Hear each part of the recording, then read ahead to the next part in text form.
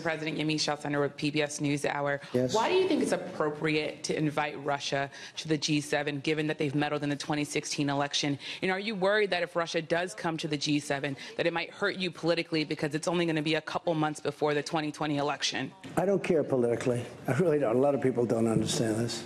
I ran one election and I won. Happened to be for president. I don't care politically. I'm going to run another election. I think I'm winning based on polls that we see. Uh, whether I win or not, I have to do the right thing. So I don't do things for political reasons. Is it good? Probably not. Maybe it is. I mean, a lot of people are smart. A lot of people say having Russia, which is a power, uh, having them inside the room is better than having them outside the room. By the way, there were numerous people during the G7 that felt that way. And we didn't take a vote or anything, but we did discuss it. My inclination is to say, yes, they should be in. Uh, they were really, it was a President Obama. I'm not blaming him, but a lot of bad things happened with President Putin and President Obama. One of the things that happened was, as you know, what happened in with a very big area, a very, very big and important area in the Middle East where the red line was drawn, and then President Obama decided that he was not going to do anything about it. You can't draw red lines in the sand. You just can't do it and the other was in Ukraine, having to do with a certain section of Ukraine that you know very well, where it was sort of taken away from President Obama. Not taken away from President Trump, taken away from President Obama.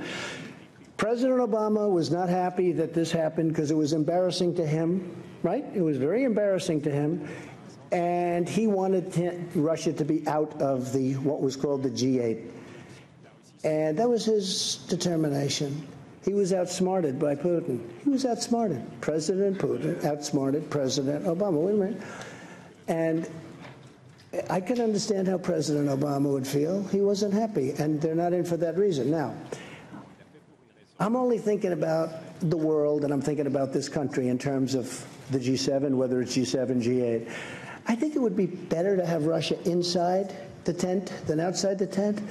Uh, do we live either way? Yes, we live either way. Is it politically popular for me to say that? Possibly not. I think a lot of people would agree with me, frankly, but possibly not. I do nothing for politics. I know a lot of you aren't going to, you're going to smile at that. I do nothing for politics. I do what's right. And people like what I do. And, but I just do what's right. If I wanted to go strictly by politics, I'd probably poll that, and possibly I'd say, "Oh, gee, I don't want, I don't want Russia in." But I really think it's good for security of the world. It's good for the economics of the world. Remember, they're building a big pipeline in Europe going right up to Germany. And I said to Angela, who I had a great relationship, but I said, you know, you pay Russia billions of dollars, and then we defend you from Russia. Why and I say, how does that a work? Misleading statement that Russia outsmarted President Obama well, when did. other countries have said that the reason why Russia was kicked out was very clearly because they annexed Crimea. Why keep repeating what some people would see as a clear lie? Well, it was annexed during President, I know you like President Obama, but it was annexed during President Obama's term. If it was annexed during my term, I'd say, sorry, folks, I made a mistake, or sorry, folks. President Obama was helping Ukraine. Crimea was annexed during his term. Now, it's a very big area, very important area. Russia has its submarine. That's where they do their submarine work, and that's where they dock large and powerful submarines, but not as powerful as ours and not as large as ours. But they have their submarines. And President Obama was pure and simply outsmarted. They took Crimea during his term. That was not a good thing. It could have been stopped. Could have been stopped with the right whatever. It could have been stopped. But President Obama was unable to stop it, and it's too bad. Go ahead. As the G7 host next year, you were allowed to invite other countries to come, guest countries, even though they're not necessarily part of the overall group. Would you consider inviting Vladimir Putin under those well, circumstances? I don't know that he'd accept. And those are tough circumstances. He was a part of G8 and all of a sudden he's not out or he's not in. So I think, John, actually, that's a pretty tough thing for him.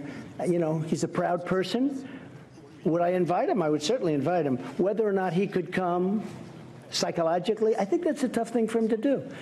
You have a G8, now it's a G7, and you invite the person that was thrown out really by President Obama and really because he got outsmarted. President Obama, pure and simple. And don't forget, it was not just Crimea, it was the red line in the sand. And Obama said, never violate the red line in the sand. And then they went ahead and they killed many children with gas. It was terrible.